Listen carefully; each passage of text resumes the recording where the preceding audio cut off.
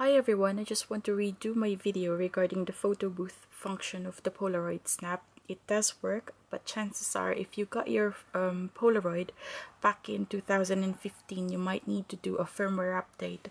If you refer in the box of your um, camera, it says there firmware update and user manual, visit polaroidsnapcamera.com. So all you need to do is um, get a micro SD card. It, your Polaroid Snap would hold up to 32 gigabytes of um, memory card. So um just put it in there download the firmware and save it in your micro SD card and the camera will do all the updating for you once you've loaded saved it in your um, micro SD card. So the um the photo booth function works like this. Turn your camera on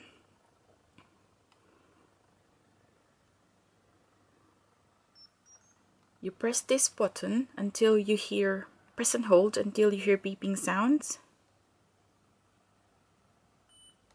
Let go. After that two seconds beep it takes your picture. Another two seconds. Takes another picture. Two seconds. Third picture.